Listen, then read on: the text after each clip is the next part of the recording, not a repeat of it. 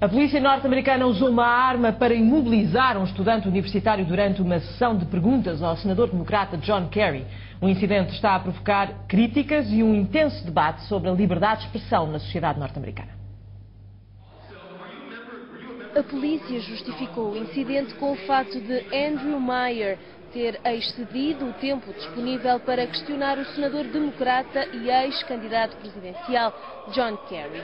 O estudante de 21 anos da Universidade da Flórida, entre outras coisas, queria saber por que razão o Congresso não iniciava um processo de impugnação contra o presidente George W. Bush e por que razão Kerry não contestou as eleições que, em 2004, perdeu para o atual presidente. O jovem perguntou ainda se os dois faziam ou não parte de uma sociedade secreta conhecida nos Estados Unidos por crânio e ossos. Questões que foram interrompidas pela impaciência dos agentes perante a passividade e espanto da plateia.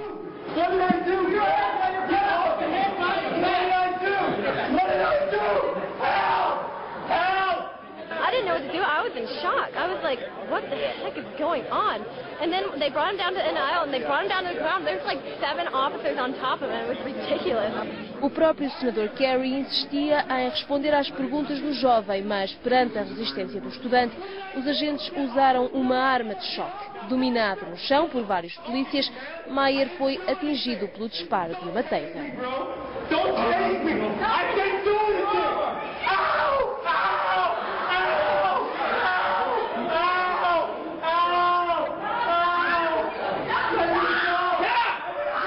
As imagens amplamente divulgadas nos canais de televisão e na internet disputaram um intenso debate sobre a liberdade de expressão nos Estados Unidos.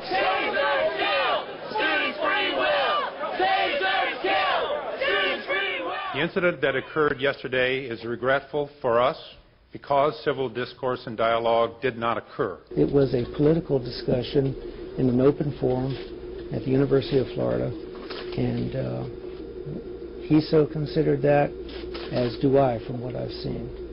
He was expressing his viewpoint through questions and through statements. Mayer passou a noite na prisão, mas foi libertado de seguida. Os polícias envolvidos no incidente foram temporariamente afastados até à conclusão da investigação.